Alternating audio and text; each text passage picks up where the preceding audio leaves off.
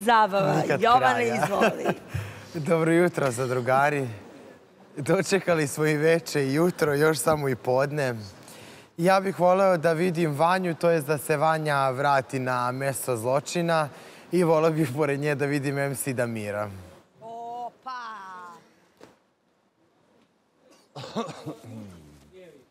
Dobro veče za drugari. Dobro jutro, kako god. Slabo vas, slabo vas čujem. Dobro večer. Šta se to dešava između vas dvoje? Ja sam imao prilike... Anja i Cvele. Ništa vas, ja vas ništa ne čujem. Ne znam da li je do bubica vaših ili šta se dešava. Ne čujemo ni mi tebe.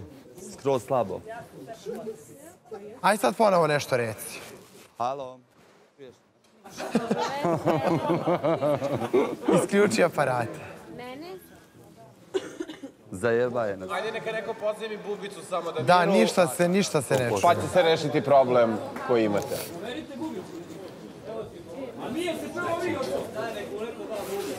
Možda nam je bubica. Ajde.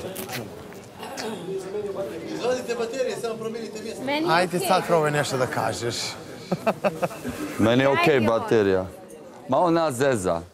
Nije, nije, samo malo budite glasniji i sve će biti ljudi, jel možemo treba. ovako? Ajde samo da se fokusirate i da saslušate novinara, pa onda odgovorite na to pitanje, pošto pola vremena potrošimo na a, ko je, gde, šta, šta si rekao, da, kako ste mislili to pitanje. Mene pitate, znači ajmo Jovane lepo postavljati imam pitanje, kao što je i krenuo, a vi se saberite pre nego što se oduzmete. Ajmo, Joca. Hvala dušice. Kakva je situacija između vas dvoje? Jel me sad lepo čujete? E, dobro večer, Jovane. Dobro Sad te odlično čujemo. E, Ja sam primetio da se ti njoj nešto udvaraš, da je tu svašta nešto interesantno bilo, ali me interesuje šta se tu do kraja dogodilo. Pa ovo ja bi bio džentlmen, pa bi prvo Vanji prepustio da ti odgovori ako nije problem.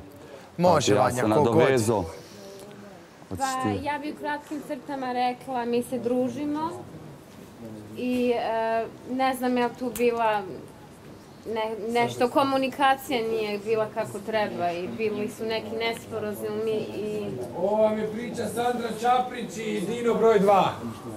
Uglavnom ne bih htjela tu nešto da kažem da je on hteo nešto ili nije, da ne bi ispalo kasnije da ja ovdje njega opet ogovaram ili tako, pošto Opet, opa. par puta tu svađali oko toga. Uglavnom, mi se družimo i to je to.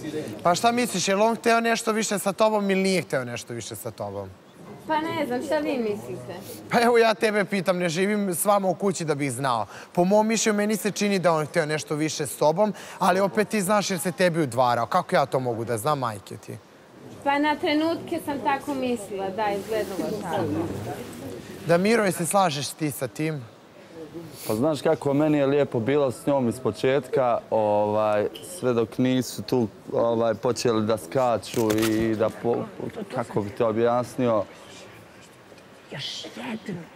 ne znam tačno kako da to objasnim. Uglavnom mi je bilo lijepo s njom, šetali smo, pravili smo tu da jedemo, ovaj, ne znam Dobro. kako, kako da objasnim naš odnos. Znači, tebi se čini da se ona tebi tako malo udvarala, je tako? Zajedno ste provodili vreme, bili ste bliski, znači zajedno ste jeli, šetali, pričali. Bilo prelijepo, ovaj, ništa nisam imao protiv Vanje, sve dok nije počela malo da me zeza. Kako misliš da te zeza? Šta to konkretno znači? Pa, pa ja sam, ovaj, bila je tu radio amnezija gdje sam ja rekao ovaj, konkretno i pojasnio da mi uopšte nije stalo do veze ovdje u realitiju. Dobro. Ovaj, I da ne gledam Vanju na taj način.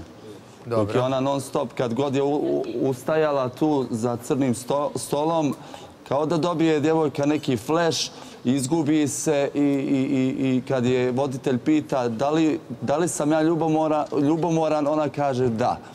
Dobro. A, to mi se uopšte ne sviđa. Znači, ako imamo tu re- relaciju drugarsku, bit ćemo drugari i to je to. Ja sam njoj, do- ja mislim da sam ti rekao da smo drugari i, i vrlo se dobro slažemo kao drugari. A sad, da li će biti Ti si nešto...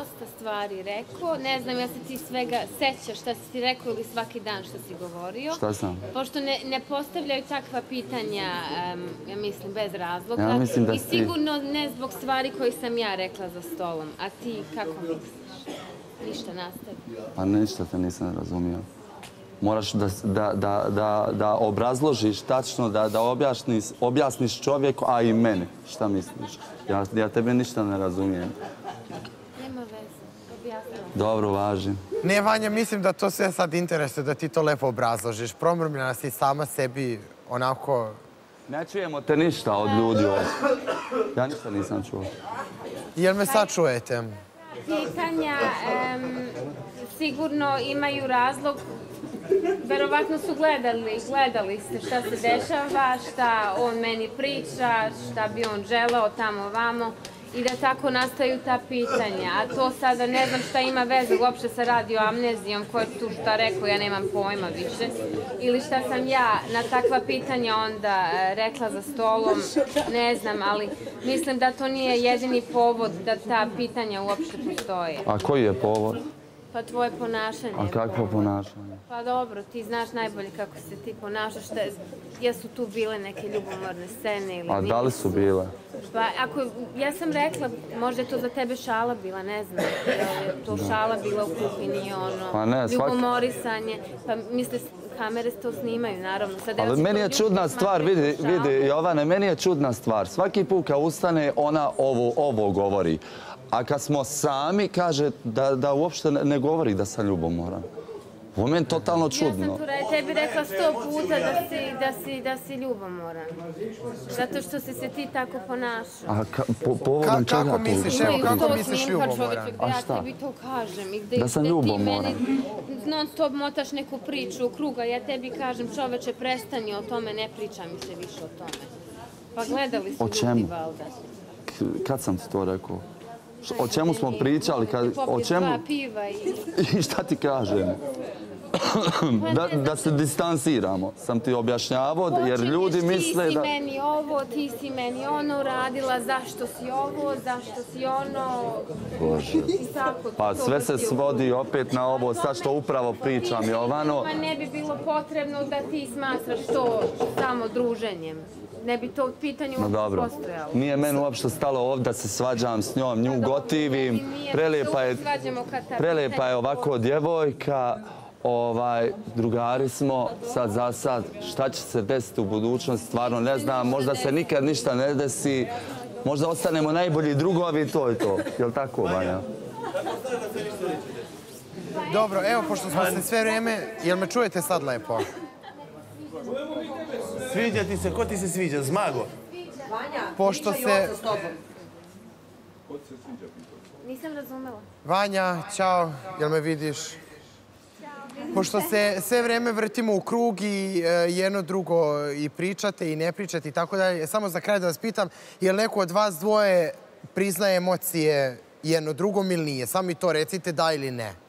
Ne, Ja priznajem, ja priznajem emocije da mi je mnogo drako osoba Također. i da sam ono stvarno i vezana za njega ovde zato što i nedostaje mi kad nije tu i tako, pošto sam se navikla na njega i ono, i da se šalimo i da kuvamo zajedno i to te sve stvari, tako da tu postoje te emocije, ali te su e, jednostavno... e, Znači, kod vas postoje kuvarske emocije, je li tako? To je to. To je, čujemo to. to je vrhunac vaših... Rekao, kod vas postoje samo kuvarske emocije. To je vrhunac vaših emocija. To on misli na mene. Dobro, sve u svemu bit će prilike da, da o tome pričamo. Ja vam želim da budete dobri prijatelji, a možda i kasnije partneri. Vidjet ćemo. Hvala vam. Hvala Jovane, prijatno. Prijatno. Slučajni partner.